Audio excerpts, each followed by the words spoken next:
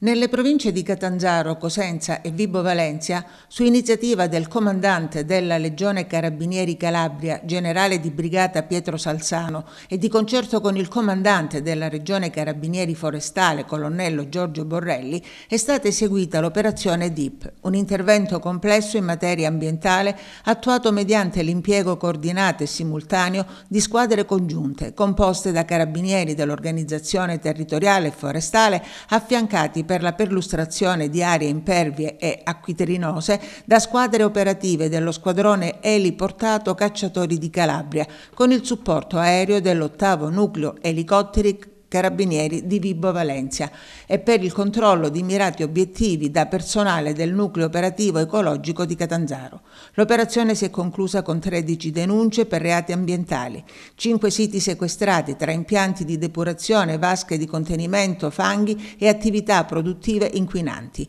22 siti in cui sono stati riscontrati illeciti penali e irregolarità amministrative e sono state comminate sanzioni amministrative per un totale di 500.000 euro.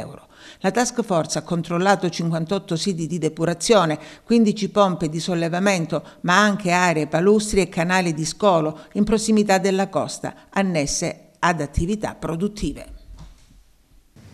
Sì, preventiva perché eh, abbiamo notato dai dati ISPRA soprattutto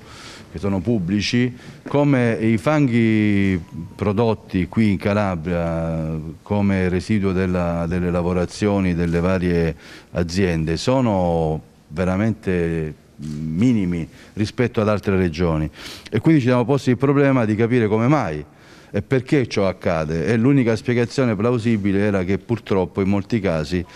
sia i depuratori e sia altre aziende non rispettano quello che è la, il ciclo ambientale e quindi non vengono fatte quelle depurazioni che poi sono necessarie per garantire